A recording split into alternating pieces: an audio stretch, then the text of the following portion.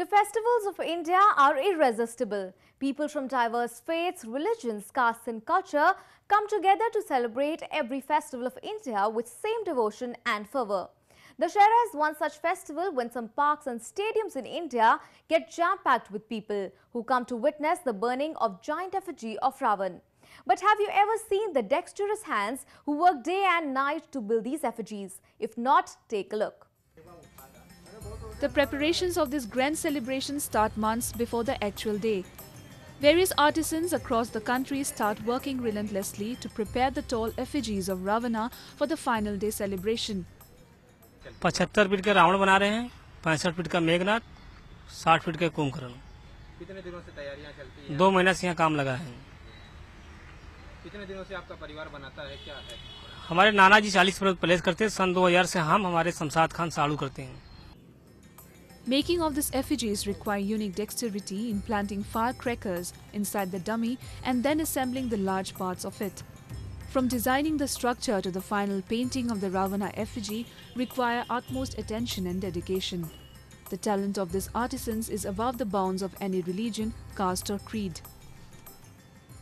हम लोग ये सब नहीं रखते ये गं- गंगा जमुना के ये एक तहसील है कि इसको हम लोग अपना बनाते हैं हम लोग के हम लोग को ये खुशी है कि इसको हम लोग बनाते हैं हम लोग ये सब नहीं मानते हम लोग की ये खुशी हम लोग शुरू परंपरा चली चला आ रहा है इसलिए हम लोग इसको बना रहे कारीगर होकर This bond of communal harmony is present all across India.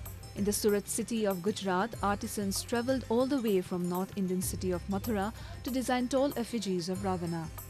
A 10-member team of artisans led by Haji Munna Mistri has been making these effigies for last 35 years and he has done his work with utmost devotion towards the Hindu festival. के बारे में ये तो सब अपना अपना काम है, हम इसमें कोई जात भात का वो नहीं रखते हैं भेद। हमारी निगाह में सब भाई एक बराबर हैं, सब धर्म समान हैं।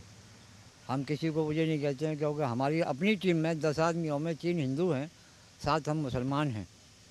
इसलिए हम किसी का कोई भेदभाव नहीं रखते हैं कि ये हिंदू है, मुसलमान है। हम तो ये चाहते हैं कि हमारे भारतवर्ष में अमन शांति कायम रहे। Although belonging to different religious communities, the artisans' work is unison to shape up the best colorful effigies of Ravana.